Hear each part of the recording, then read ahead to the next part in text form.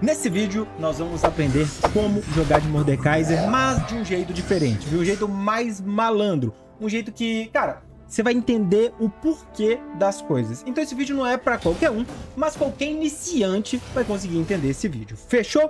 Vamos dar uma olhada então neste vídeo, no seu objetivo de jogo, em primeiro lugar, nos itens e o porquê deles, que eu vou falar para vocês, qual é a ordem que você vai fazer, nas rotas e o porquê das rotas, quando você vai picar o personagem, e se pode picar em todos os jogos de qualquer jeito, nas runas e o porquê disso, nos counters do Mordekaiser, muita gente não fala sobre counters e o porquê dos counters também, e nas habilidades no final, e no final eu falo alguma dica extra, alguma coisa que eu queira falar sobre ele da gameplay, beleza? Então já sabendo que não é um vídeo para todo mundo, é um vídeo para algumas pessoas, porque eu vou explicar muita coisa, o vídeo vai ficar meio monótono, vem comigo e bora pra aula de Mordekaiser aqui, quando jogar com esse bichão, tá legal, tá muito forte. Começando com objetivo de jogo. Mordekaiser, diferente de outros top laners, ele é feito para você conseguir atrapalhar o time adversário. Então vamos pensar em um suporte que não joga na linha de suporte. Ele tá ali para auxiliar mais o time. Então você vai trabalhar como? Você vai trabalhar mais com o Q dele, que é uma pancada mais de longe, se, evitando se expor, por mais que ele seja tanque, nós vamos falar um pouquinho sobre isso. E o segundo ponto, você vai trabalhar com ultimates estratégicas. Então seu ultimate não tá ali pra você chegar e tirar alguém da fight logo de cara. Você tá ali para você chegar e falar, eu preciso tirar um ADC que tá dando muito dano na fight e deixar meu time 7 segundos sem tomar dano dele. Eu preciso tirar o mago que tá dando muito dano na fight ou eu preciso tirar o jungle que tá dando muito dano e pode smitar se for um objetivo.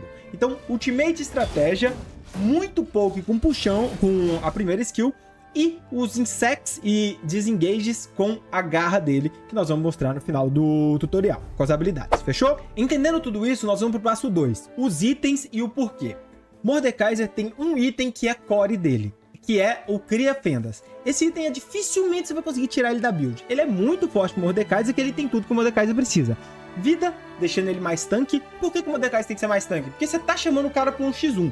Se você for muito papel e as habilidades dele são lentas de castar, você vai acabar sendo eliminado muito rápido. Temos poder de habilidade, que é o que ele usa, o AP, né? O Ability Power.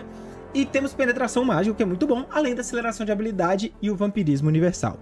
Zeg, por que fazer o Cria Fendas de primeiro item no Mordekaiser? Existe uma situação que você não vai fazer, eu vou explicar, mas nós vamos começar com Cria Fendas de primeiro item pela aceleração de habilidade. Mordekaiser tem duas habilidades principais que precisam de aceleração. A primeira habilidade e a terceira habilidade, que é o porrete e o puxão que nós comentamos.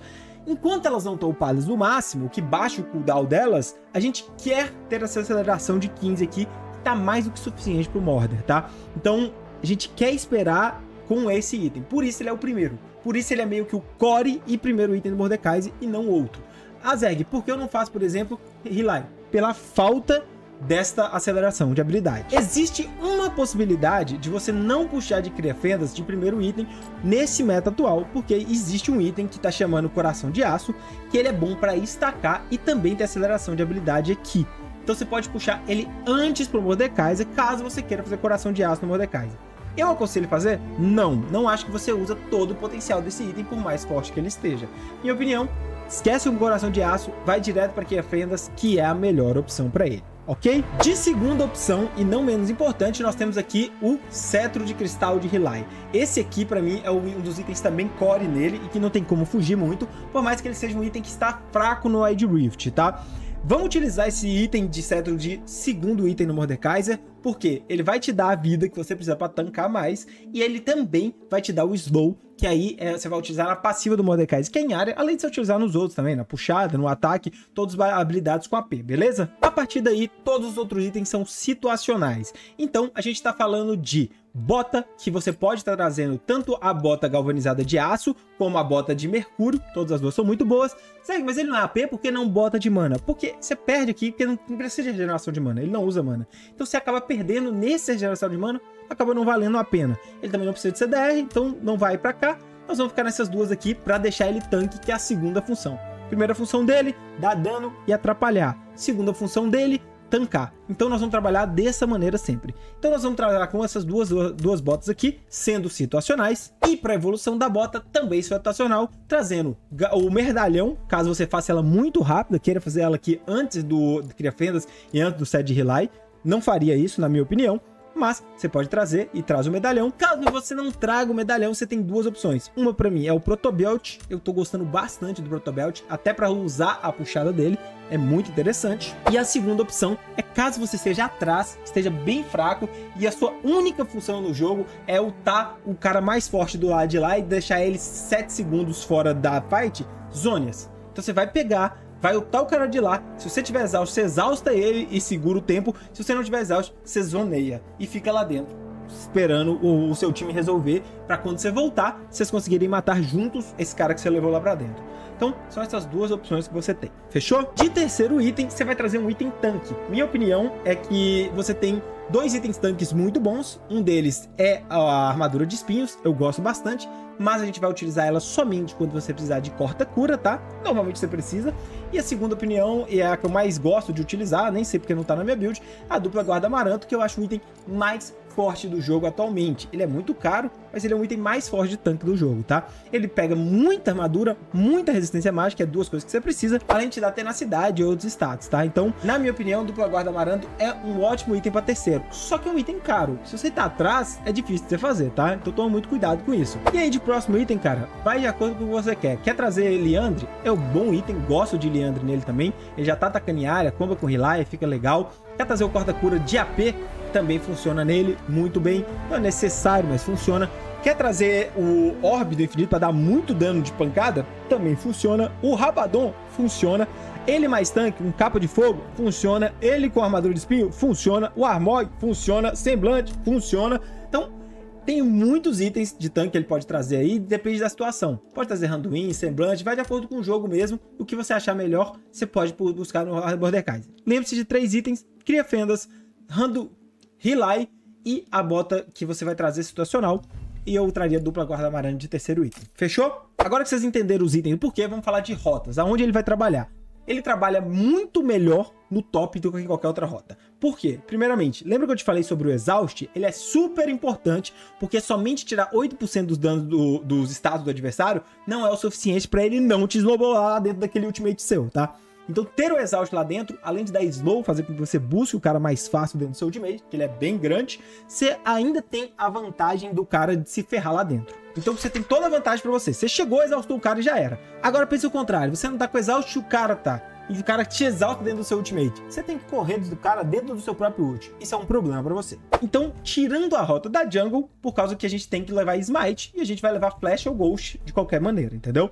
Então, tira a rota da jungle. Sobra duas rotas pro Mordecai. Talvez três, se você colocar ele no mid ali, mas lembrando que ele é um melee, que ele teria problema para farmar no mid. Então, Mid não, porque você vai farmar com ele melee e isso seria um problema para ele no mid na maioria dos casos. Mas não deixa de rodar, tá? Ele poderia rodar no mid também sem problemas. Ele tem top e ele tem o suporte. Dá pra fazer Mordecai suporte? Dá sim. Lembra que eu te falei que ele é um suporte? O problema de você trazer ele suporte, é, eu não acho interessante, é que ele tem pouco controle de grupo.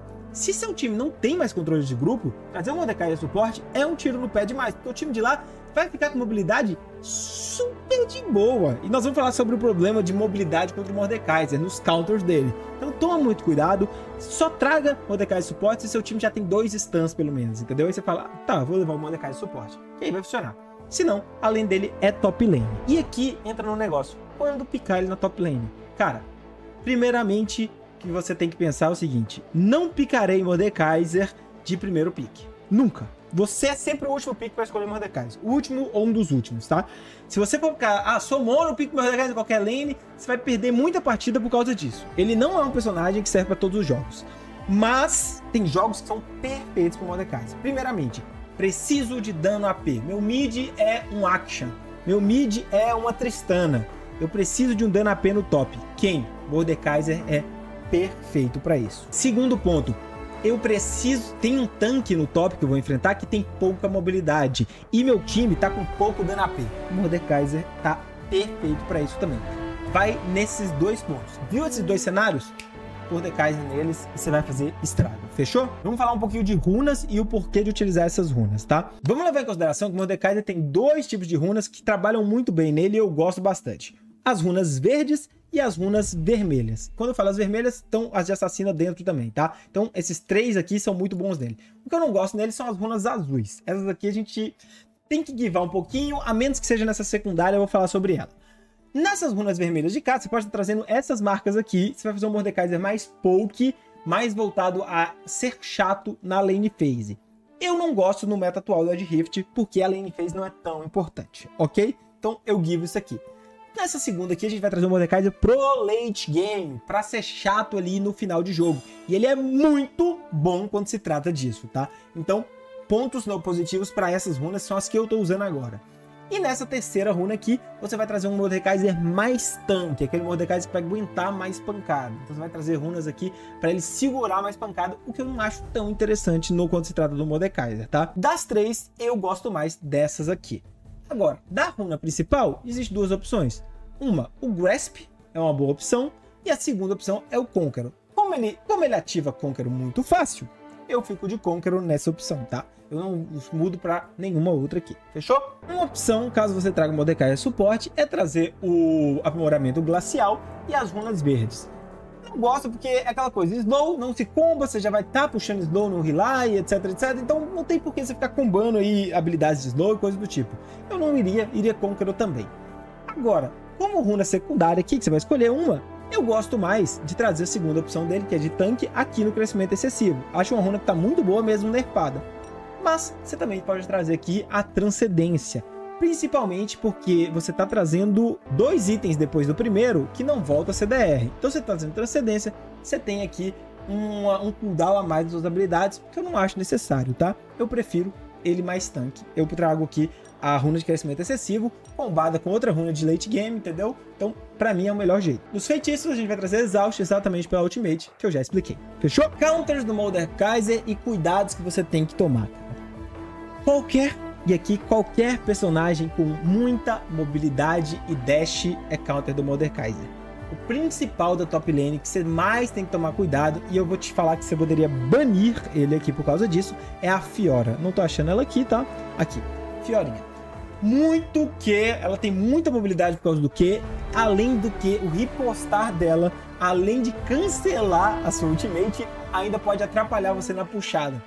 Também no que, né? Até seu próprio que, se for acertar, ela deu dash errado e aí você soltou o que nela, ela riposta, você não dá dano no que. Ela é counter de todos os sentidos. Para mim, o maior counter de Mordekaiser. Toma muito cuidado com Fiora, cara. Então, não pique Mordekaiser sem antes banir a Fiora ou ter certeza disso, que ela vai estar tá ali sem problemas. Fora isso, qualquer outro personagem com mobilidade é chato quanto o Mordekaiser. Claro que você vai poder dar um jeito nisso. Agora, o que você tem que prestar muita atenção são dois personagens que são nojentos por causa que sua ultimate fica inviável. Um deles é Olaf, entendeu? Por causa da ultimate dele. Você não pode fazer nada, você não vai lutar no cara. E o segundo personagem que é horroroso de se enfrentar, ele não vai no top, mas ele vai estar no jogo, é a Morgana.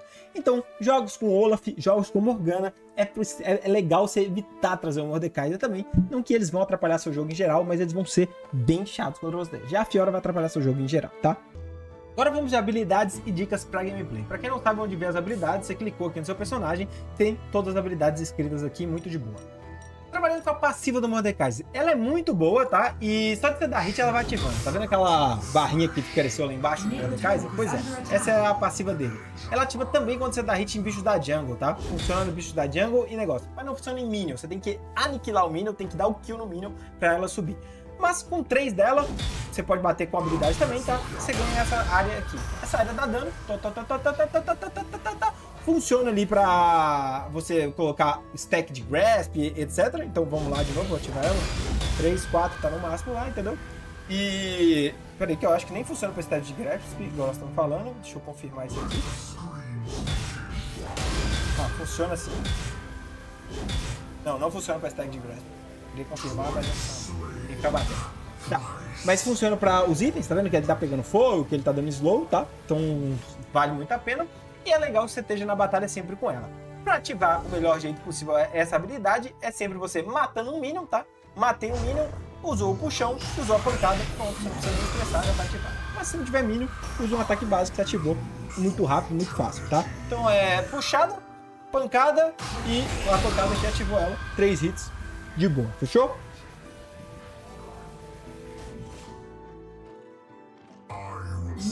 Labyrinth is under attack.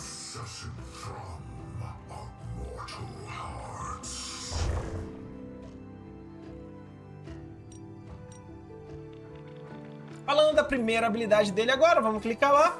E nós temos aqui Obliterar, simples, tem tempo de recarga cada nível que você upa, igual eu te falei, e aumenta também o dano, tá? Ela vai dar uma machadada no cara. Pá, cadê? Puxa aqui, é a machadada. Toma, pum. Se você bater em um único cara, dá um crítico, você vai ver ali que tem um, um, um negócio de crítico, ó, 433. É forte, tá? Essa machadada, bem forte mesmo. E se você bater em dois, vou botar o do boneco inimigo pra vocês verem, não vai dar o crítico, tá? Então, você vai ver que vai dar menos dano ali. Sabe? Viu que não subiu o crítico, né? E o dano é bem menor, né? Então, tá vendo? O dano é menor e não subiu o crítico. Bater só um, vai subir o crítico. Pá, 446 de crítico. Fechou? Então, bateu um, melhor. Ele gosta desse 1x1, mas é lenta, tá? Eu quero muito que você preste atenção que é lenta, ó. Vou bater. Oh, olha a movimentação que ele faz. Você desviar disso aqui, cara, é muito, muito, muito fácil, tá? Então, você tem que já pensar em pra onde esse cara vai e como ele vai. Como ela é larga, você às vezes pode tentar num canto, assim, saca? O cara não conseguir fugir. São... É, é jogando que você vai pegar isso aqui. A segunda habilidade dele também tem tempo de recarga, ela tem cura também, o que é interessante. Só que eu vou te falar uma coisa, não vale tanto a pena a cura dele. Eu vou te mostrar. Tá vendo esse escudinho em cima? Você vai pegar ele usando a habilidade e batendo nos bichos, tá? E quando você apertar a segunda habilidade, você ganha essa barra sua de escudo. Então nesse caso aqui, por exemplo, ó, apertei, ganhei de escudo, tá vendo? Tem escudo normal, tô tancando lá, ó, pá, pá, e é muito escudo, certo? Agora, deixa eu ganhar mais um pouco de habilidade, vou até bater na torre aqui e tomar um dano. Porque esse escudo também te cura. Só que ele te cura de acordo com o negócio. Se eu tenho uma barra menor, vai vir menos escudo, tá vendo? E aí eu tenho esse tempo do escudo lá embaixo, se eu clicar outra vez, ele em tese me cura. Mas, cara, é muito, muito ruim esse, essa cura aqui, mesmo com semblante, tá? Mesmo com semblante. Então, deixa eu soltar as habilidades aqui, matar os bichos aqui pra subir esse escudo meu, mais rápido possível, e eu gastei ele de novo. E eu já mostro pra vocês como é que é. tô aqui, ó, meu escudo no full já, tá vendo? Clique, vou, vou, clicar, ó, minha vida, ó. Cliquei, encheu de escudo, curei, não curou nem a vida completa que eu precisava curar, tá vendo? É pouco, não se baseie em ficar se curando desse jeito. Você vai utilizar seus itens para se curar com Life Steal e sua runa que nós também estamos usando de Life Steal para se curar. E a cura aqui, velho, você não estressa tanto, usa mais como escudo, tá vendo? E é legal que a passiva sua sobe muito seu escudo, você viu ali? Sobe muito o escudo. E usa ele como escudo, que é bem grande. O escudo é bem grande, é bem bom. A cura é bem mais ou menos. A terceira habilidade, e para mim a melhor delas, tá? Ela também tem CDR, tempo de recarga quando upa, então é a segunda que eu upo. Ela dá dano também. E aqui, cara, presta atenção, ela pode toda pra lá, ela pode ser jogada aqui e ela pode ir pra trás. Como que ela funciona? Ela vai uma mão, up, e a mão puxa o cara. E, você viu que o cara desliza? E é essa a parte interessante dessa habilidade. E você pode fazer mais. Tipo assim, o cara tá vindo pra cima de você, você pode jogar pra trás, ó, zup, e vem até você. Ou, deixa voltar o cooldown. Vamos aqui. Cadê o reduzir cooldown aqui? Aí, nem tem, mas já voltou aqui. Ou você vai puxar só pra cá, ó. Ó, posso puxar daqui. Olha o tanto que ela vai jogar o cara pra trás. E jogou lá pra frente. É um desengage engage muito bom. O mais básico, o que todo mundo vai saber counterar e jogar com ele, é o de engage. Então, olha onde o cara pode estar tá e eu puxar ele pra torre. Olha a diferença. Se eu tô na frente da torre e o cara tá ali, ele vacilou, torre já com a pancadona na cabeça. Não é pancada fraca não, tá vendo? Ah, e se você levar ele pro submundo, quando eu falar da ult, ele tá tomando a torre ainda. Entendeu? Então meio que ele fica meio que se ferrou, entendeu? Ele vai ficar naquele cantinho ali, vai tentar ir pro cantinho e pronto, é o que pode fazer. Deixa eu puxar de volta. Mas um Bomber de Kaiser... Ih, tô tomando a torre até nessa distância. Queria tirar desse valor. Mas um Bomber de Kaiser vai saber desengajar. Eu tô fugindo, o cara tá vindo atrás de mim, eu já vou fazer isso aqui rapidamente, ó. E tirei e joguei o cara. Esse é o único escape do Mordekaiser. Então já coloca essa aqui como dicas extras de gameplay, tá? Então essa é uma dica muito importante. Você tá fugindo, cara, você tem que conseguir desengajar rápido. Porque senão você vai morrer muito. Ele não consegue fugir do outro jeito. Mordekaiser não tem fuga. Isso é muito ruim pro top laner, tá? Então é necessário que você já comece, ó, a treinar o desengage rápido.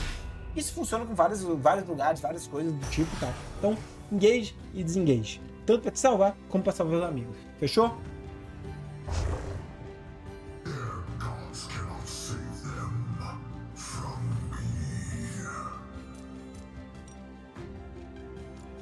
Último, mas não menos importante, a Ultimate do Mordekaiser, né? Reino da Morte, que vai levar o cara pra lá. É interessante mostrar pra vocês aqui, ó. Tá vendo tanto de status aqui que mostra que ele perde, ó. Ele perde AP, ele perde AD, ele perde velocidade de ataque, ele perde defesa física, perde defesa mágica e perde vida. Tudo isso ele perde em 8%. É muito no late game? É muito. No early game não é tanto não, porque é porcentagem, entendeu? Mas eu vou te falar a verdade, 8% a menos não vai fazer o cara não te matar, não. Sendo sincero, se o cara estiver mais forte, ele vai te espancar. E o cara sendo range, ele tem muita vantagem. Então, lembra que eu te falei do Protobelt? O range da ult é bem grande. Se eu outro cara daqui, olha o tanto de espaço que ele tem pra fugir. O cara vai lá pra aquele canto, eu não acerto nenhum negócio, ó. Eu tenho que ir correndo atrás dele e tal. E isso aqui, lembra que eu te falei que é muito lento? Se você não der predict, ó, olha o tanto que demora. O cara foge muito, muito fácil. E aí, por isso que eu já te dou a dica, tá? Eu não peguei lá, mas eu vou te dar a dica do Protobelt. Vou até pegar o Protobelt lá enquanto o último te volta, que é importante. E aí é o que eu faço para jogar em Mordekaiser, tá? Eu já... Primeira coisa, é legal você ultar quando você acertar a puxada. Não deixa a puxada pra dentro do ult. Já solta a puxada do lado de fora, entendeu? Que eu acho que é uma das coisas mais importantes que você vai fazer. Mas o principal aqui que você vai fazer também é já al alcançar o cara muito rápido. Então o que você vai fazer? Ah, cheguei de longe. Então... Opa, tô sem CDR, vou colocar aqui, ó é protobelt, ult, puxada e toma pancada. Olha onde o cara tá. Joguei o cara até pra trás aqui, cuidado se estiver muito perto, tá? Então, velho, você deixa o cara muito forte de você. É porque quando você tá no jogo, dificilmente o cara não vai correr de você, entendeu? Mas você já mete um protobelt chute, aí o cara vai ter que correr pra lá. Aí como a puxada tá indo, ele já pega no canto, cara, já joga pra cá, entendeu? Então fica muito melhor você tá trabalhando desse jeito. Agora, tentou a puxada, antes eu gosto de estar assim, ó. Puxei, utei e o cara vai dar dash, flash, alguma coisa, protobelt. Isso, é legal. Espanca o cara aqui dentro. É o tempo que você tem pra matar ele lá dentro, entendeu? Se não der pra matar, aí paciência, né, amigão? Aí já era pra você, você se ferrou. Mas a maioria das vezes dá tempo, tá? E uma coisa legal é que se você der a puxada aqui, ó, dei a puxada aqui, você tem 7 segundos, então quando tiver acabando a ult, você já vai dar a puxada. Então, o que é muito bom pra você. Claro, você também pode fazer mais isso, se der, a puxada ficar um pouco mais rápido pra você eu prefiro fazer desse jeito aqui. A build que eu estou usando é aquela que eu mostrei pra você. Tem menos CDR, porque esse aqui não dá CDR também. Você pode fazer um item de CDR aqui um item de CDR aqui. Beleza? E aí fica bem mais rápido a puxada aqui, você puxar várias vezes durante o jogo. O que é muito bom também, tá? Eu gosto.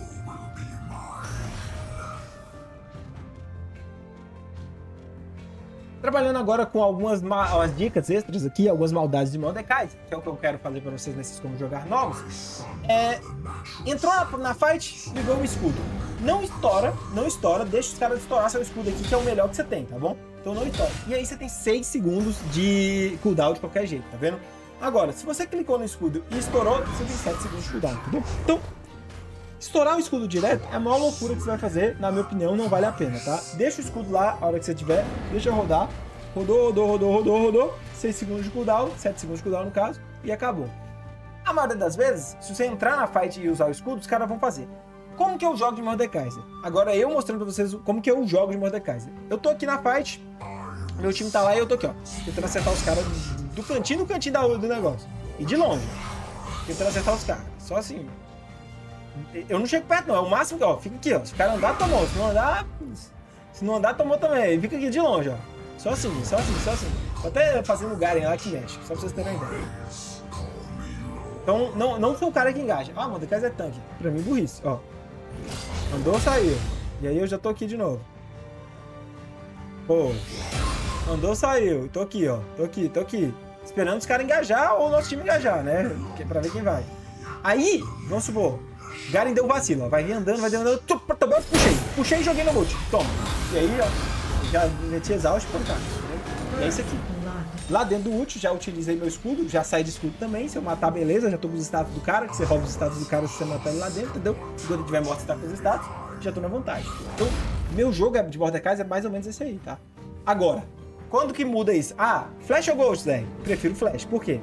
O cara tá lá, entendeu? O cara nem tá me vendo aqui, eu já chego como? Flash ult. No, no ADC ou coisa do tipo. Porque é lógico, o Garen é muito fácil. Agora, que dá vacilo, você dá protobel de puxada, é difícil, entendeu? Então, Flash pra mim é muito melhor do que Ghost. E aí é a sua opção. Tá.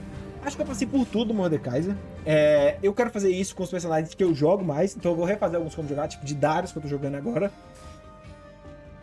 E tomara que vocês gostem desse estilo de jogo novo, que é muito mais mostrando um como jogar não para iniciante, que só não quer ler habilidade, e sim um desenvolvimento dentro de jogo. Joguei algumas partidas com o personagem, gostei, peguei umas manhas e aí eu passo para vocês. Fechou? Então é isso. Beijo pra vocês, até a próxima. Falou, fui!